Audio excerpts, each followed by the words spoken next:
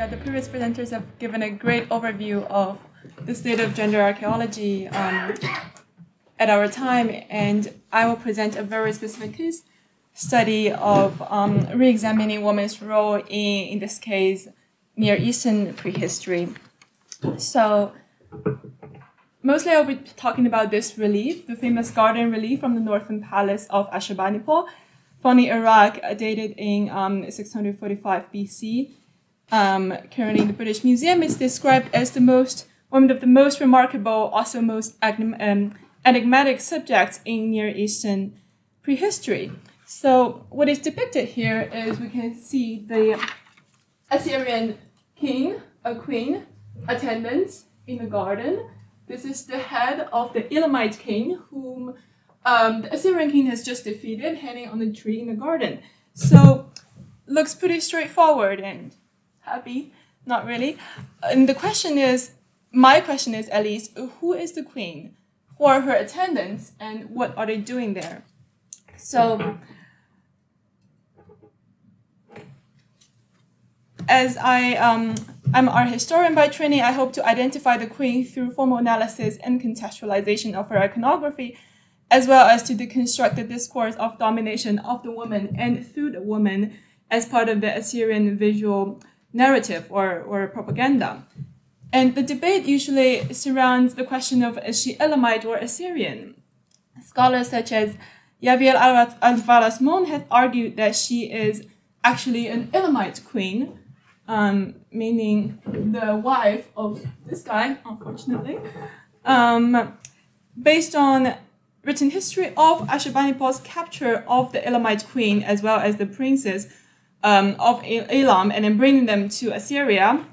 Um, basically, these such a, such kind of reliefs are found throughout Ashbani, um, Ashurbanipal's garden, showing um, the the capture and transport of these Elamite subjects.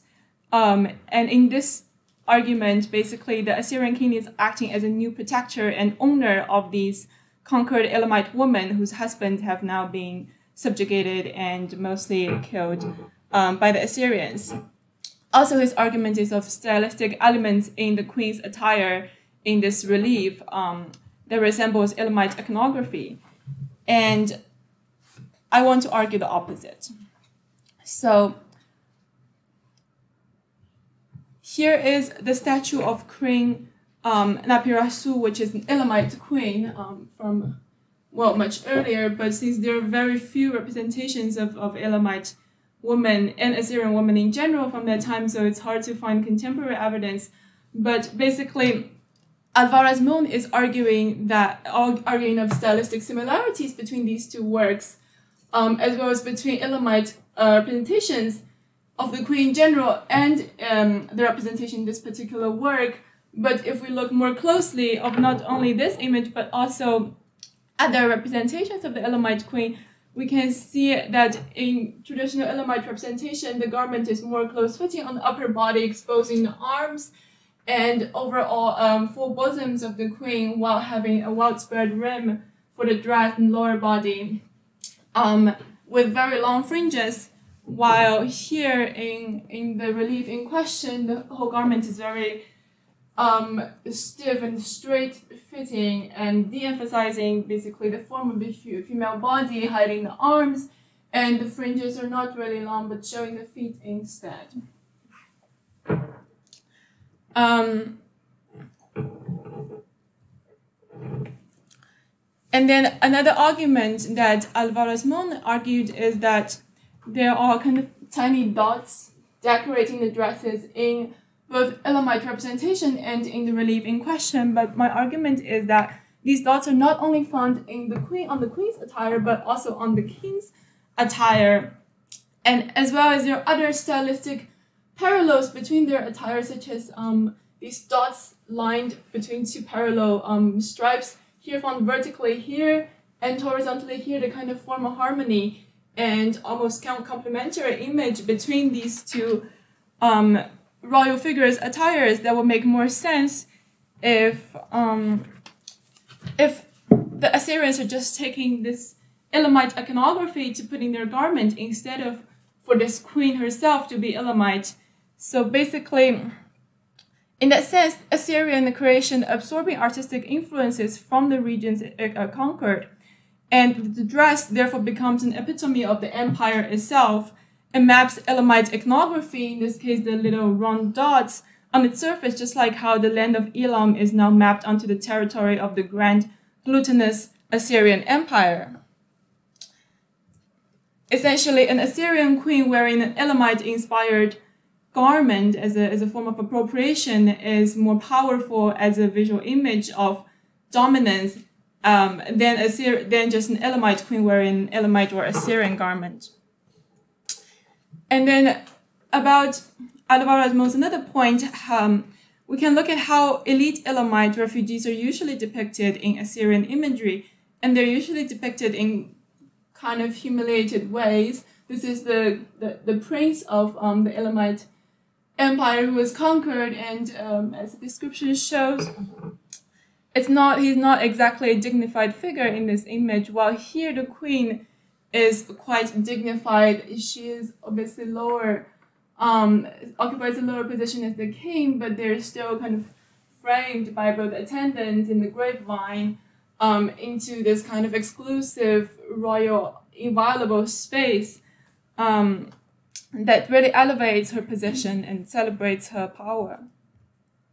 So a question that's not been asked before is if the queen is Assyrian, could her attendants being Elamites? And I think no one has really looked at attendance.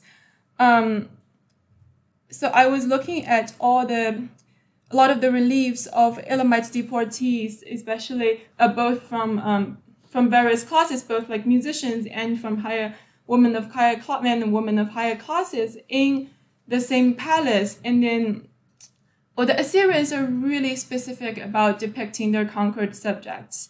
So I've discovered that most of the, I mean, all, essentially all of the men and most of the ordinary women, such as musicians or attendants, um, were this sort of headband with, um, with like kind of little knots sort of thing behind the head, behind the head, and then relatively simple garments. Um, however, elite Elamite women wear this just kind of single round headband without the knots, um, and more complex garments with, such as here, it's um, oh here we can see both clearly this is uh, this is elite woman, elite Elamite woman who's deported, but we can see that she's elite because she is um, there are no guards around here. That's uh, and then also she's carrying a very heavy water jar to feed her infant. Um, we can see similarities between her garment here as well as the garment for the attendants in this image. So my hypothesis is that could that be that these attendants in the Assyrian palace are actually elite Elamite female deportees um, who have not only their lands conquered, but also their elite subjugated and their culture appropriated, so basically did not work for the Assyrian palace. And this kind of strategy of appropriation is not unique to, to human beings, but also to objects. For example, we can see here Egyptian necklace that celebrates um, Ashurbanipal's conquer, conquest of uh, Egypt's 25th dynasty as well as other like their Babylonian elements, this lotus flower that he's holding, are all kind of appropriated cultural objects. So, so these all speak to Ashurbanipal's visual message of his ability to access and take resources from other parts of the world. And then, so the key question is then, what is she doing there? So if we look at all these um, iconographic echoes between echoes between the king and the queen, such as uh, these decorative elements that I talked about, the postures that they're also being parallel. He's lying horizontally and she's sitting very up straight vertically, and then with the grapevines and um, the horizontal grapevines, the vertical pine trees, and the, such as a table in the middle that occupies both the physical center of this sphere as well as kind of creating many more intersections of, uh, of vertical and horizontal lines, um, kind of cross shapes and that, that give a visual impression of balance and stability, which then translates into the balance and stability of the empire. And then if we look more closely at the queen's crown, um, here we can see similar examples of such mural crown. Um, this is Ashurbanipal's queen that not only further substantiates the argument that she is in fact Assyrian rather than Elamite, but also suggests, but also the iconography of fortified city walls here suggests the inviolability of the queen's physical being, which then translates into the inviolability that of the empire. So we can say that the figure of the queen is emblematic, emblematic of the land, signifying not only territories, but also in this case, because we have the, the garden, taking into account the garden landscape, the um, signifying re reproductive abundance. Here we have a lot of date trees, which are traditionally codified as female because they need to be fertilized by human hand from male pollen trees in Assyrian visual representation. Only male rulers are, are seen doing that. So, and the palm trees usually don't grow on Assyrian soil. So this is further visual message for the fertilizing power of the Assyrian man, essentially. Because here, if we consider palm trees and all these female attendants in the queen as visually equivalent, passively waiting to basically potentially be fertilized. Um, and then, well, it's hard to talk about reproduction without talking about sex. So well, on the first, on the one hand, we have the historical association of, of between floral vegetal motifs and sex that's very abundant in Mesopotamian literature. And second of all, the king's position here lying on this bed is very unusual in Assyrian representation. Um, we can see that there is, well, there's no, he is the only male in this scene. There's no competition besides the head of the already dead man on the on this tree, which uh, not coincidentally is an Assyrian pine tree. So this tree is native to the land, unlike these female palm tree, So it's, it's another sign of domination here. And then if we look more closely, we can see that um, the, the pattern lining the bottom of, uh, of the queen's garment are the same sort of visual detail as the pattern lining the edges of the blanket. Um, so so here we might detect a, a, a sense of um, of access and removal. So basically, especially then given their position, the, given the king's reclining position, um, this sort of you know what when she what, what what well the pattern will be touched when her garment is removed, and the pattern will be touched when his blanket is removed, sort of form an echo that further strengthens this, this sort of intimacy within this already very intimate, exclusive space framed by the grapevines and by the attendants. And the attendants are there fully at Ashurbanipal's disposal um, if my, if my uh, hypothesis that they are actually Elamite elite women holds true, then they are now at his, at his disposal for labor and then potentially for sex to contribute to the economic and the reproductive abundance of the Assyrian Empire instead of for Elam.